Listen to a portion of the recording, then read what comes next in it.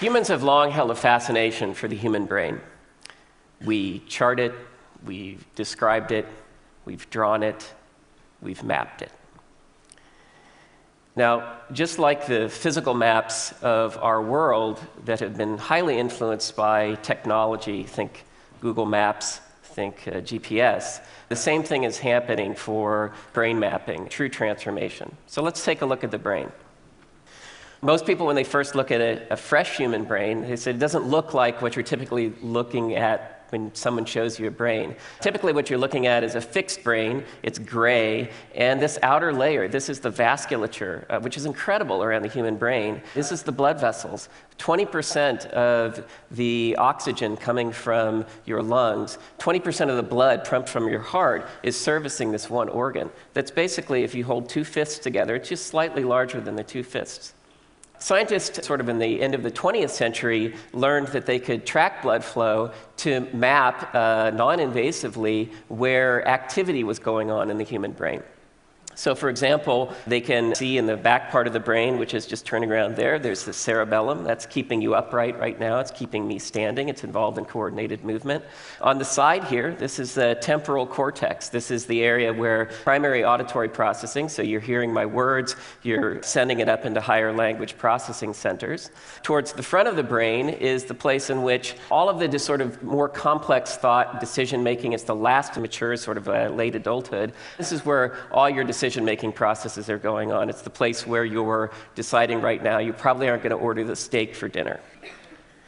So, if you take a deeper look at the brain, one of the things, if you look at it in cross section, what you can see is that you can't really see a whole lot of structure there but there's actually a lot of structure there. It's cells and it's wires all wired together. So, about 100 years ago, some scientists invented a stain that would stain cells. And that's shown here. In the very light blue, you can see areas where neuronal cell bodies are being stained. And what you can see is it's very non uniform. You see a lot more structure there. So, the outer part of that brain are the, is the neocortex, it's one sort of continuous processing unit, if you will. But you can also see things underneath there as well. And all of these blank areas are the areas in which the wires are running through. They're probably less cell dense. So there's about 86 billion neurons in our brain. And as you can see, they're very non uniformly distributed. And how they're distributed really contributes to their underlying function. And of course, as I mentioned before, since we can now start to map brain function, we can start to tie these into the individual cells. So let's take a deeper look.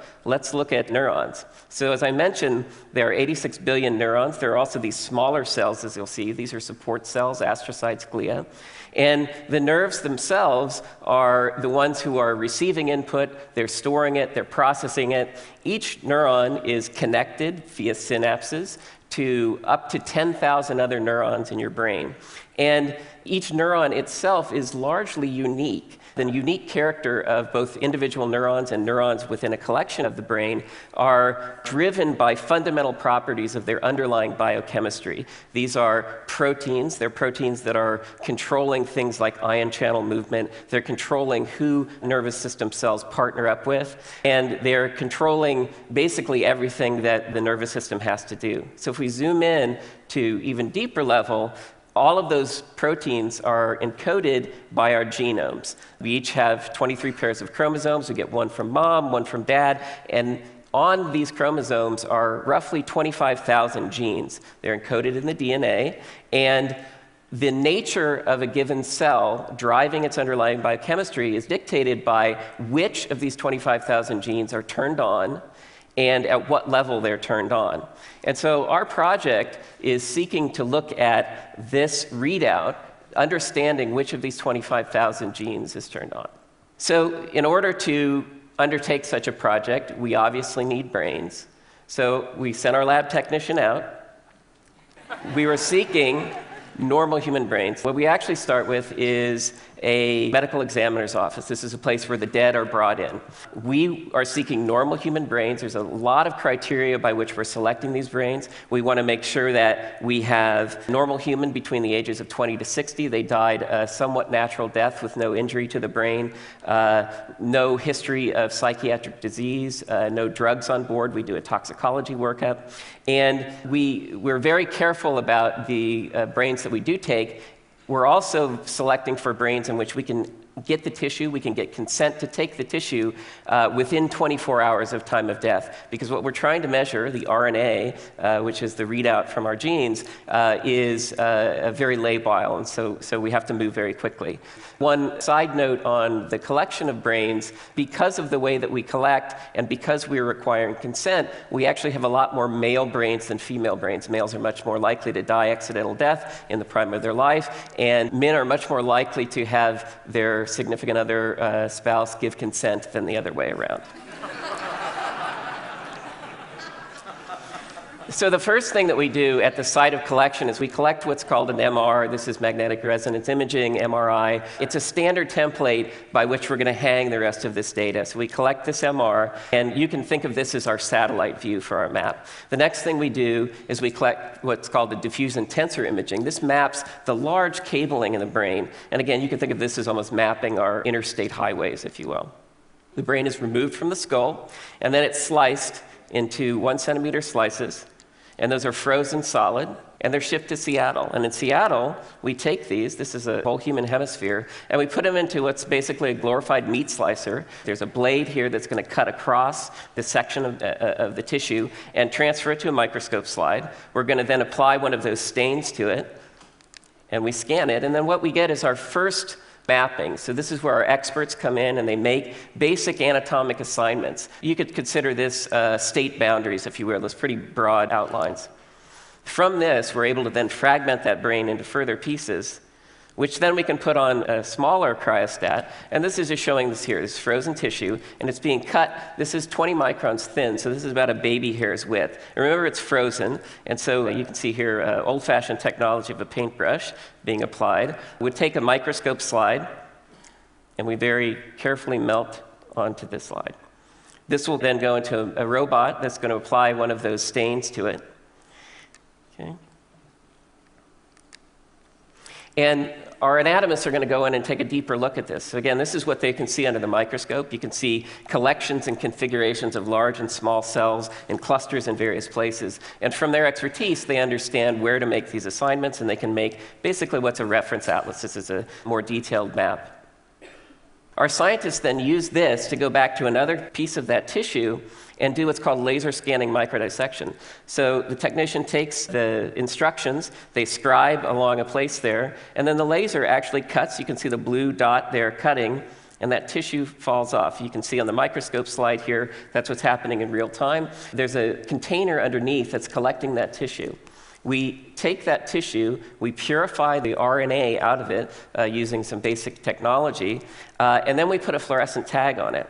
We take that tagged material and we put it onto something called a microarray. Now, this may look like a bunch of dots to you, but each one of these individual dots is actually a unique piece of the human genome that we spotted down on glass. This has roughly 60,000 elements on it, so we repeatedly measure various genes of the 25,000 genes in the genome. And when we take a sample and we hybridize it to it, we get a unique fingerprint, if you will, quantitatively of what genes are turned on in that sample. Now we do this over and over again. This process for any given brain, we're taking over a thousand samples for each brain. This area shown here is an area called the hippocampus. It's involved in learning and memory, and it contributes to about 70 samples of those thousand samples. So each sample gives us about 50,000 data points. Uh, with repeat measurements, 1,000 samples. So, roughly, we have 50 million data points for a given human brain. Uh, we've done right now two human brains worth of data. We've put all of that together into one thing, and I'll show you what that synthesis looks like. It's basically a large data set of information that's all freely available to any scientist around the world. They don't even have to log in to come use this tool, mine this data, find interesting things out with this. So here's the modalities that we put together. You'll start to recognize these things from what we've collected before.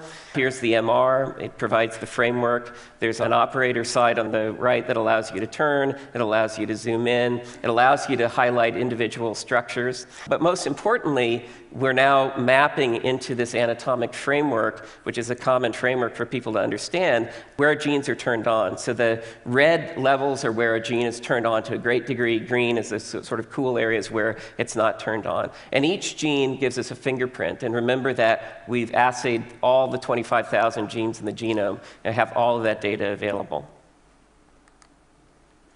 So, what can scientists learn about this data? And we're just starting to, to look at this data ourselves. There's some basic things that you would want to understand. Two great examples are drugs, Prozac and Wellbutrin. These are commonly prescribed antidepressants. Now, remember, we're assaying genes. Genes send the instructions to make proteins. Proteins are targets for drugs. So drugs bind to proteins and either turn them off, et cetera. So if you want to understand the action of drugs, you want to understand how they're acting in the ways you want them to and also in the ways you don't want them to, in the side effect profile, et cetera. You want to see where those genes are turned on. And for the first time, we can actually do that. We can do that in multiple individuals since we've assayed two. So now we can look uh, throughout the brain. We can see this unique fingerprint, and we get confirmation. We get confirmation that indeed the gene is turned on for something like Prozac in serotonergic structures, things that are already known to be affected. But we get to see the whole thing. We also get to see areas that no one has ever looked at before, and we see these genes turned on there. Is this interesting side effects? It could be.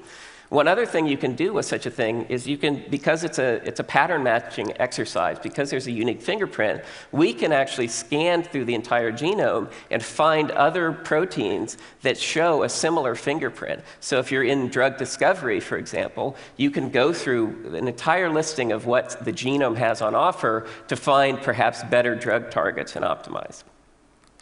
Most of you are probably familiar with genome wide association studies in the form of people covering in the news saying scientists have recently discovered the gene or genes which affect X. And so these kinds of studies are routinely published by scientists, and they're great. They analyze large populations, they look at their entire genomes, and they try to find hotspots of activity uh, that, are, that are linked causally to genes.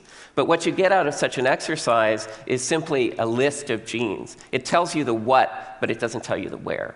And so it's very important for uh, those researchers that we've created this resource. Now they can come in and they can start to get clues about activity. They can start to look at common pathways, other things that they simply haven't been able to do before. So uh, I think this audience in particular can understand the importance of individuality.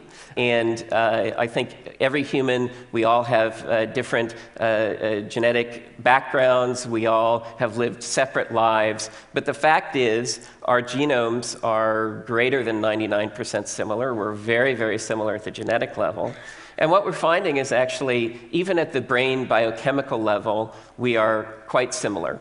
And so this shows it's not 99%, but it's roughly 90% correspondence at a reasonable cutoff. So everything in the cloud is sort of roughly correlated. And then we find some outliers, some things that lie beyond the cloud. And those genes are interesting, but they're very subtle. So I think uh, it's just an important message to, to take home today that even though we celebrate all of our differences, we are quite similar even at the brain level. And what do those differences look like? This is an example of a, a, study that we did to follow up and see what exactly those differences were. And they're quite subtle. These are things where genes are turned on in an individual cell type. These are two genes that we found that as good examples. One is called reelin, it's involved in early developmental cues. DISC1 is a gene that's deleted in schizophrenia. These aren't schizophrenic individuals, but they do show some population variation. And so what you're looking at here in donor 1 and donor 4, which are the exceptions, to the other two, that genes are being turned on in a very specific subset of cells. It's this dark purple precipitate within the cell that's telling us a gene is turned on there. Whether or not that's due to the individual's genetic background or their experiences, we don't know. Those kinds of studies require much larger populations. So I'm going to leave you with a final note about the complexity of the brain and how much more we have to go. I think these resources are incredibly valuable. They give researchers a handle on where to go, but we've only looked at a handful of individuals at this point. We're certainly going to be looking at more. I'll just close by saying that, that the, the, the tools are there, and this is truly an unexplored, undiscovered continent. This is the, the, uh, the new frontier, if you will. And so, for those who are undaunted but humbled by the complexity of the brain, the future awaits. Thanks.